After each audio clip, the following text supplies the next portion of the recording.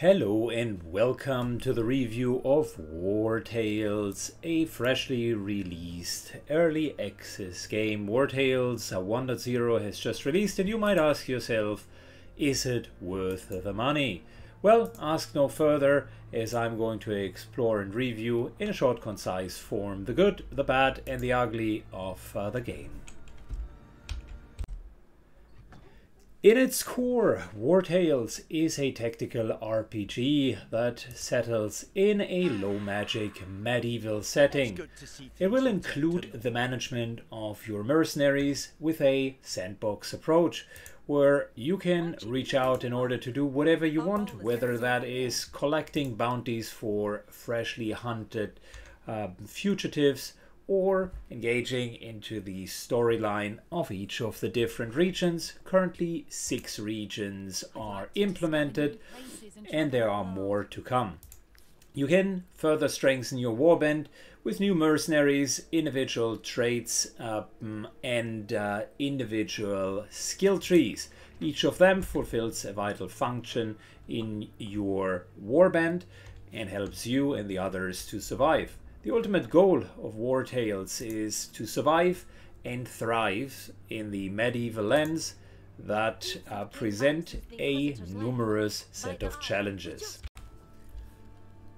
Let's start with the good. The graphics of the game are fine. They are good, actually, compared to other games in the same genre, like Battle Brothers. This game is definitely a graphical update. Uh, everything is uh, 3D modeled. You can see details even of trinkets and other belt um, items. The models themselves uh, seem well worked uh, through. Lighting and shading uh, works, the texture, uh, textures have been done um, quite decently, and the interaction and animation of all of that in a combat environment works. On top of it, the frame rate uh, remains relatively stable even in a 50 versus 50 combat environment, which in itself is a great feature.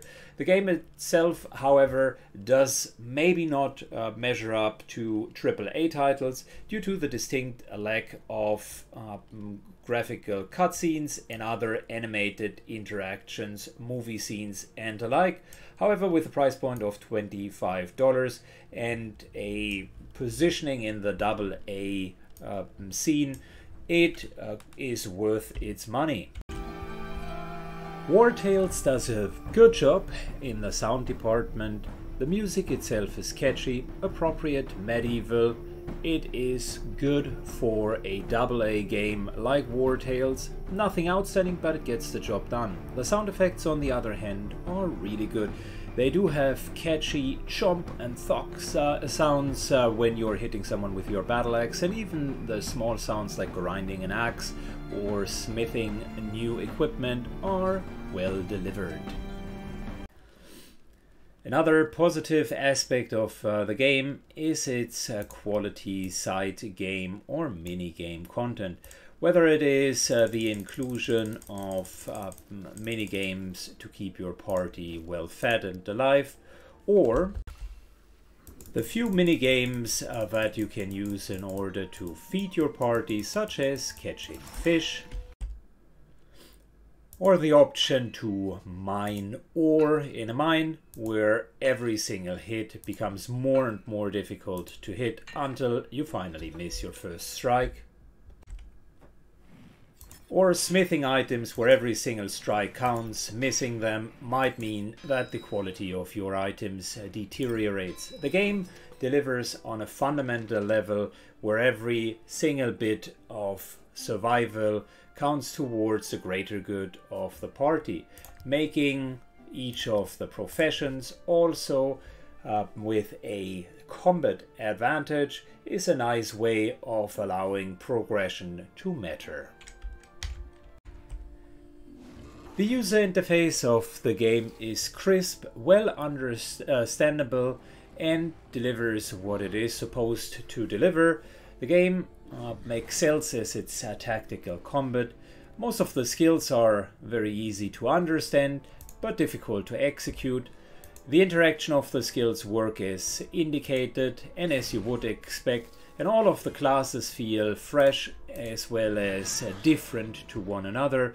You have plenty of opportunities in order to engage with the enemy, and even the enemy skills will catch you off guard from time to time. The combat is where Wartales truly shines, and it is very much tailored around that. Losing your favorite hero in a permadeath game can be devastating, but it makes uh, the journey all so much sweeter. Wartales creates a great atmosphere, and that to no lesser part is also based on the great interactions with NPCs. Most of the dialogues are voiced, the NPCs have realistic, albeit sometimes a little bit crude motivations behind it, and you always find something to do in the game. Additionally, the game does a good job in explaining all of its features, the different weapons and armors are understandable and the in-game systems can be picked up quite easily. As an example, here I can compare a bow with a ability to attack twice on a critical hit against a bow with a higher base damage and the ability uh, to shoot a single arrow. It is clear, concise, and the effects are immediately observable in the next battle. One of the distinct advantages in this game is the freedom of choices, whether it is the different animal taming options, the quest dialogues, the details of uh, what you can or cannot do, the management of captives, or the whole minigame around wanted status, or in this case, how I can select either of my companions to spend a night in a spooky haunted house. The game delivers on all of that. Despite all of its positive effects, the game still retains improvement potential as an early access game. That is not surprising as you will find more and more features uh, implemented. However, I need to judge the game based on its release and currently there are still a little bit more to be desired within the balancing. For instance, certain animals such as the polar bear are way too strong. They uh, stack uh, hit points and constitution to levels that are not seen. Certain paths within the uh, current balancing are not really feasible, i.e. Uh, the archer really has a few paths that are available and others aren't working very well. The attribute influence greatly differs. Some attributes are highly influential, such as willpower, critical hit, and movement, whilst others aren't scaling very well, or in some cases, fail to scale uh, with uh, your levels. Dexterity, as an example for our archer, has around 20 starting stat, 18 from all of uh, its levels, then a few from profession, and around 100 from equipment, which um, makes any form of uh, improvement of that stat throughout the game a bit of a waste. You could rather go for other stats. So, Overall, the balancing still needs to be looked at, particularly um, starting disadvantages, attribute points, and the overall economy. Stealing, for instance, is way too good in the game as it stands. Another point of criticism is the overall storyline, or rather the lack thereof. The overarching narrative is non-existent, although each of the different counties have their particular gripes and sometimes you need to solve a problem there. Tiltren has a refugee problem, other areas of uh, the world do have issues with a high profile murder, yet others are overrun by a disease. None of that really fits nicely together. They are more interactive, uh, sandboxy individual storylines, and whilst that is fine, it leads to another problem. And that problem is the gameplay loop which can be tedious after some time. The first area is exciting, fresh, a honeymoon phase where you're exploring all of the goodies of a sandbox game. Then you enter the second area with high hopes of new impulses, input, and a few new mechanics, and are greeted with the, relatively speaking, exact same interaction. You're starting in an area, you're trying to fight your way through the most important points of reference, then you're moving to the uh, next points of reference, try to solve uh, the main quest there, do a few little side quests here and there, and then move on ultimately to the next area. Whilst that is fun for people that really enjoy the uh, grind and uh, the very core aspects of the game, a more gradual introduction of the concepts uh, such as strategy, uh, depth, uh, interaction of systems, sometimes even maybe skills or further attributes could have uh, helped to ease the pain and upon all having an overarching uh, storyline that uh, puts everything together would have certainly made the exploration of this otherwise very, very well done world even a bit more exciting.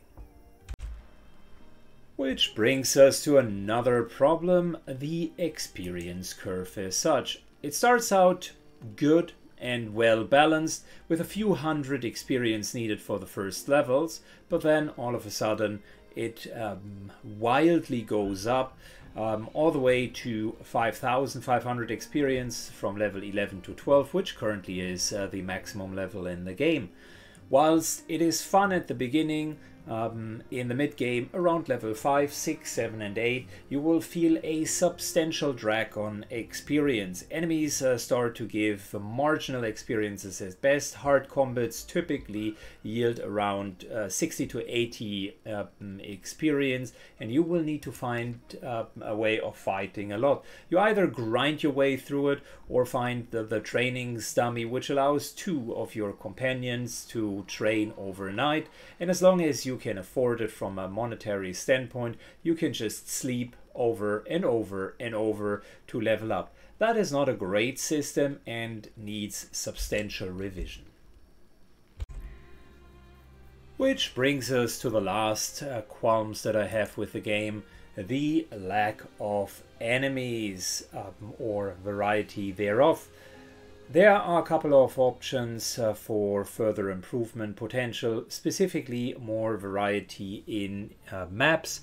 Indoor environments are missing, sea, naval environments, or anything uh, like uh, that could be implemented. But upon all, the enemies are quite one dimensional.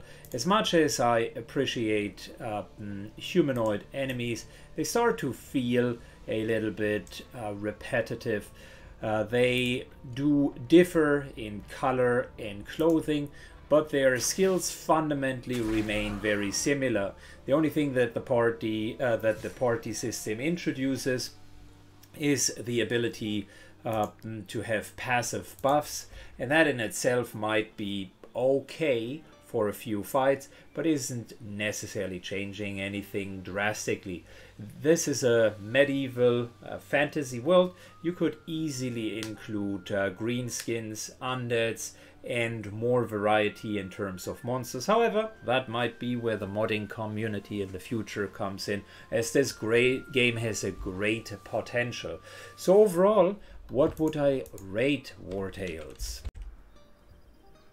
War Tales as a game fundamentally is a gem. I truly enjoyed my time with the game. It is well worth the $25 that they are currently asking for. The game delivers on so many aspects, uh, has certainly the potential to become one of uh, the best uh, RPG tactical simulators. The management uh, of uh, your cohort, the medieval world, the interaction, the few stories here and there, the tactical battles, the depth of uh, what the game can deliver is all very well done. Enthusiasts in, in the game development uh, team that listen actively to the community help to make it even uh, better. You will enjoy yourself if you are purchasing that early access game, even in its current uh, form. If you're willing to overlook the few flaws that an early access game uh, possesses, you are in for a treat.